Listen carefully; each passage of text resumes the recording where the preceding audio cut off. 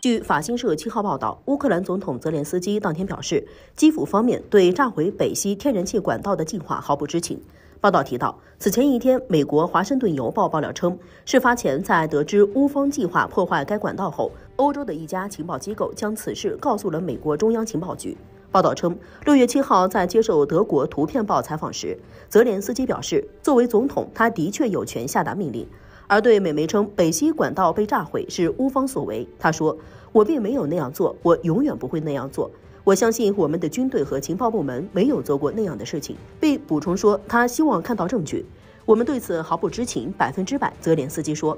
在泽连斯基发表上述言论前，美国《华盛顿邮报》六号独家爆料称，在北溪管道被破坏的三个月前，拜登政府从一个亲密盟友处获知，乌克兰军方计划对北溪管道发动秘密袭击。按照该计划，乌方将派出一小队潜水员执行袭击任务，任务向乌克兰武装部队总司令直接报告。该报还进一步表示，是欧洲的一家情报机构发现了乌方计划的详细信息，并在2022年6月与美国中央情报局分享。俄罗斯驻美国大使馆公使衔参赞安德烈·列杰涅夫六号在对美媒爆料发表评论时称，这是白宫在试图通过媒体散布有关此事件的新版故事。他指出，以美国为首的西方采取协调一致的行动，目的是迷惑国际社会，这是欲盖弥彰。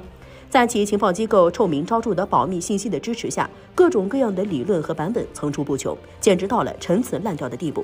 他们不遗余力地想把美国官员曾扬言终结我们管道的可耻言论抛诸脑后。此外，他们还设置障碍，阻止俄罗斯、中国和巴西在联合国安理会呼吁开展的一项透明国际调查。列杰涅夫表示，俄方坚信真相将会占上风。就我们而言，我们将继续与志同道合的伙伴共同努力，确定事件的真实情况，并追究针对关键基础设施恐怖主义行为的实施者和支持者的责任。